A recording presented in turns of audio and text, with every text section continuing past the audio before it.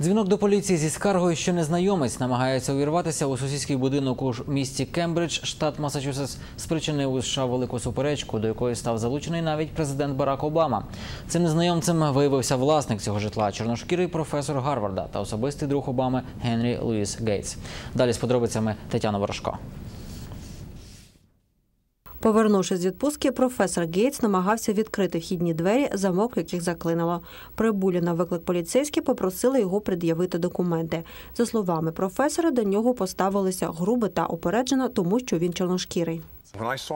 Коли я його побачив у в'язниці того дня, він був дуже засмучений. Було видно, що для нього це був надзвичайно болісний досвід. Поліція наполягає, що навпаки професор поводився нечемно, кричав та ображав поліцейського, за що й був заарештований. Коли розібралися, звинувачення з професора зняли та відпустили додому. Здавалося, справа завершена.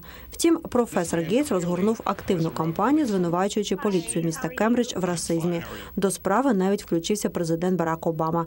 Під час прес-конференції він так охарактеризував поведінку сержанта Краулі, який проводив затримання. The Cambridge police Поліція Кембриджа повелася по-дурному, заарештувавши когось, хто вже довів, що він живе у цьому будинку. Сержант Краулі не промовчав, кажучи, що не він мав в цій ситуації вибачатися.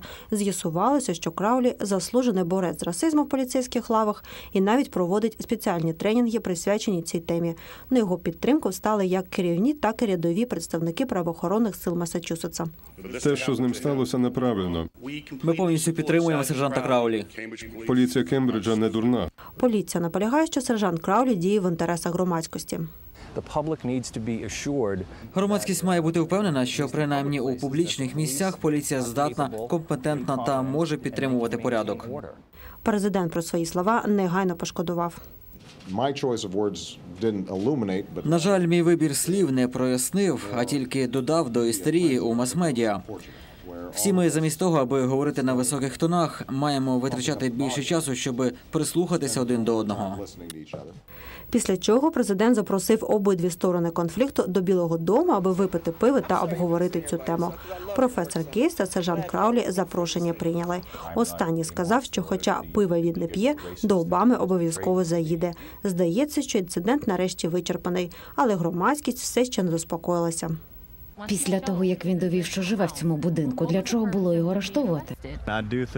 Я думаю, що це приклад, як із чорношкірими чоловіками поводиться поліція. Я думаю, що, хоча, на жаль, ми як нація мали пройти через цей інцидент, ми можемо зробити з цього висновки та рухатися далі. Тетяна Ворожко, Голос Америки.